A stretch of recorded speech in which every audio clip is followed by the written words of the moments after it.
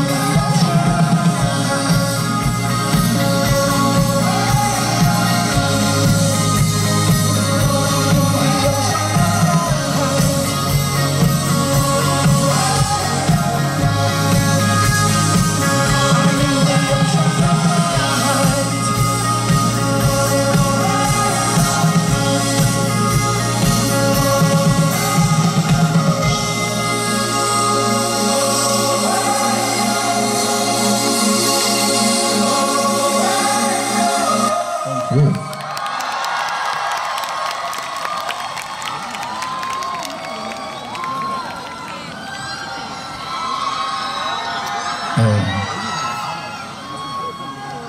바람의 방향이 무대 쪽이네요. 네. 원래는 이렇게 글로 이렇게 날아가길 바랬는데 본의 아니게 저희만 이렇게 재밌게 하게 돼서 좀 죄송하네요.